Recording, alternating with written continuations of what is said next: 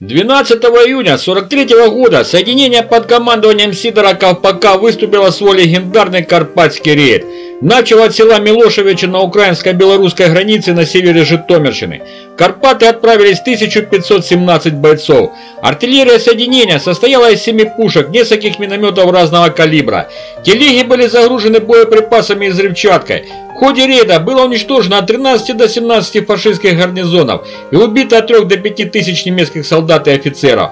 Также партизаны надолго вывели из строя железнодорожный узел Тернополь, существенно затруднив переброску войск под Курск, самый разгар Курской битвы за 4 дня до сражения под Прохоровкой.